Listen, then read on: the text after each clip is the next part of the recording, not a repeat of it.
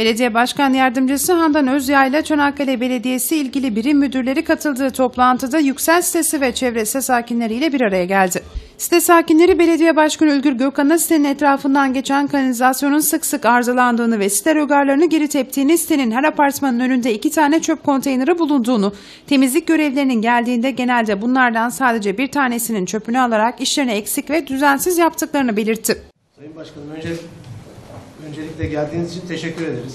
Sağ olun. Yalnız bu bu akşamki top, buradaki toplantımız yalnız Yüksel sitesi için değil, çevremizin Tabii tabii. sorunları olduğu için Tabii. biz buradayız. Biz sitede toplanıyoruz, çevredekiler de Evet, ama toplanır. Tabii. hedefimiz Kesinlikle. çevre. Tabii, kesinlikle. Sitem, birinci sorumuz sitemizin etrafından geçen kanalizasyonların yetersiz kalışı. Onu da yeni yapılan yapıların aynı kanalizasyona bağlanmasından dolayı kaynaklandığını düşünüyoruz. Evet.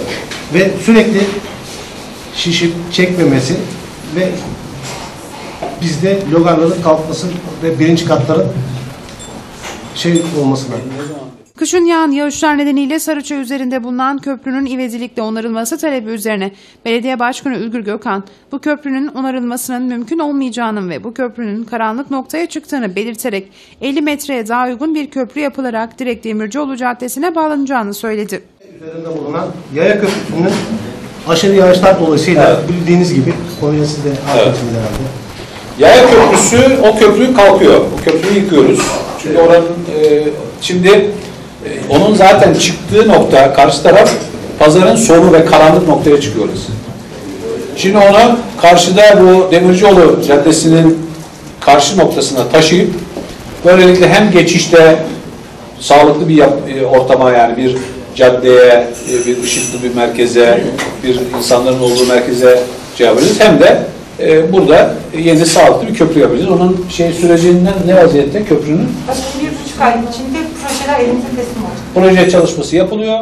Site sakinleri daha sonra Başkan Gökhan'dan toplu taşıma araçlarına ulaşmakta zorluk çektiği için belediye otobüslerinin siteye daha yakın bir güzergahtan geçmesini site ve çevresinde çocuk parkı ve oyun alanı bulunmadığı ile ilgili çalışmaların yapılmasını, Cuma pazarının içindeki sebze meyve bölümünün her pazardan sonra özellikle bir şekilde temizlenip yıkanmasını, halk pazarlarında organik poşet kullanılıp sağlanması gibi sorunlarını ve taleplerini ilettiler. Site toplantılarının verimli geçtiğini ve hem sitenin hem de yakın çevresinin ihtiyaçlarının yerinde tespiti ve aynı zamanda talep ve önerilerinin ilk ağızdan alınması bakımından önemli olduğunu ifade eden Çanakkale Belediye Başkanı Gökhan, Çanakkale Belediyesi çalışmalarının planlanmasında ve şekillenmesinde kentlinin görüşleri ve talepleri doğrultusunda hareket ettiklerini vurgulayan Gökhan, katılımları için site sakinlerine teşekkür etti.